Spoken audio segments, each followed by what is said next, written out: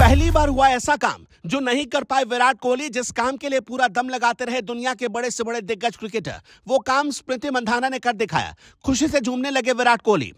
Sir झुकाए हुए chair पर बैठी थी स्मृति मंधाना। चेहरे का उड़ गया था रंग। तभी पैरी ने दिल्ली कैपिटल की गेंदबाज की कद्दी उठाई कुर्सी छोड़कर उछलने लगी स्मृति मंधाना। तीन बॉल पर चाहिए थे चार रन। तभी हुआ ऐसा चमत्कार। गेंद पहुँच गई बाउंड्री के पार। 2024 ने खोल दिया आरसीबी का खाता। विराट कोहली के तूफ़ान से पहले आ गया स्मृति मंधाना का तूफ़ान। जीत के बाद आरसीबी की महिला खिलाड़ियों ने मैदान पर कर लिया लुंगी डांस। तभी विराट कोहली ने दे दिया बहुत बड़ा गिफ्ट। इधर विदेश से विराट कोहली का विमान भारत पहुँचा। भारत पहुँचते विराट कोहली ने सबसे पहले फाइनल में पहुँची आरसीबी की टीम को ऐसा गुरु मंत्र दिया कि दिल्ली कैपिटल्स की टीम जीता हुआ मैच हार गई। एक वक्त था 11 गेंदों पर चाहिए थे 12 रन, चार गेंदों पर चाहिए थे चार रन। रुक गई थी स्टेडियम में आरसीबी के फैंस की साँसें। सिर झुकाए बैठी थी स्मृति मंधाना। मैदान पर थी पैरी। अचानक एक लम्हा ऐसा आया कि पूरी टीम की धड़कन रुक गई। फिर एक चौके ने पूरे मैच का रुख बदल दिया। चैंपियन बन गई आरसीबी। मैच में क्या कुछ हुआ ये बताएँ? उससे पहले आपसे पूछना चाहते हैं कि क्या इस बार आरसीबी इंडियन प्रीमियर लीग जीत पाएगी। बता दें कि आरसीबी विराट कोहली के नेतृत्व में 2016 में पुरुषों के आईपीएल मुकाबले में फाइनल में पहुँची थी, लेकिन सनराइजर्स हैदराबाद से हारकर उसका सपना टूट गया था।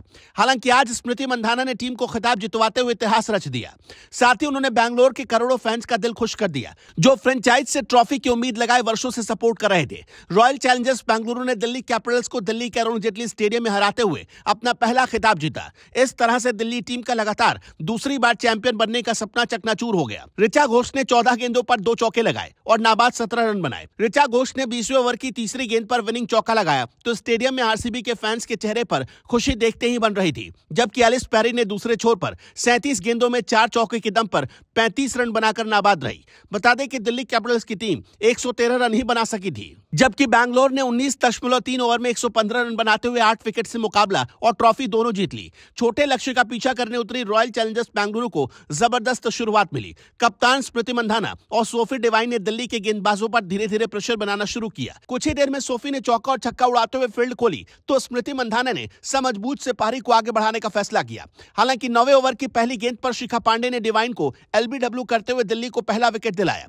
इसके बाद एलिस पैरी मैदान पर उतरी और उन्होंने कप्तान के साथ मिलकर स्कोर को आगे बढ़ाया। दूसरी तरफ़ दिल्ली की गेंदबाज डॉट से प्रेशर बना रही थी तो मिन्नू मणि को शॉट खेलने के चक्कर में कप्तान मंधाना अरुणधति को कैच थमा बैठी। वो उनतालीस गेंदों में तीन चौके के दम पर इकतीस रन ठोके। इस दौरान पैरी ने ऑरेंज कैप की दौड़ में विपक्षी कप्तान लैनिंग को पीछे छोड़ते हुए लक्ष्य हासिल कर लिया। इससे पहले दिल्ली कैपिटल्स महिला टीम की कप्तान मेग लैनिंग ने महिला प्रीमियर लीग फाइनल में रॉयल चैलेंजर्स बेंगलुरु के खिलाफ टॉस जीतकर बल्लेबाजी करने का फैसला किया।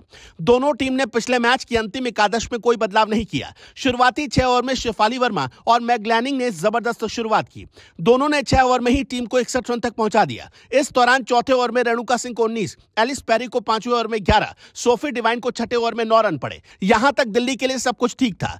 शेफाली इक्कीस गेंदों में बयालीस और लैनिंग पंद्रह गेंदों में सत्रह रन बनाकर खेल रही थी। सातवां ओवर जॉर्जिया ने किया, जबकि इसके बाद सोफी मोलिनेक्स ने मोर्चा संभाला और चार गेंदों में तीन विकेट झटकते हुए पूरे खेल का रूप रंग बदल दिया। उन्होंने पहले शेफाली वर्मा को चौवालीस रन पर सीमा रेखा के पास वारेहम के हाथों कैच कराया तो तीसरी और चौथी गेंद पर जेमिमा रोड्रिग्स और कैप्से को क्लीन बोल्ड करते हुए दिल्ली का स्कोर चौसठ पर ज़ीरो विकेट से चौसठ पर तीन विकेट तक पहुँचा दिया। यहाँ से जो प्रेशर बना तो दिल्ली कैपिटल्स आखिरी दम तक उबर नहीं पाई। बैंगलोर की गोल्डन हैंड कही जाने वाली श्रीलंका पाटिल ने एक बलखाती गेंद पर कप्तान मैगलैनिंग को एलबीडब्ल्यू कर दिया।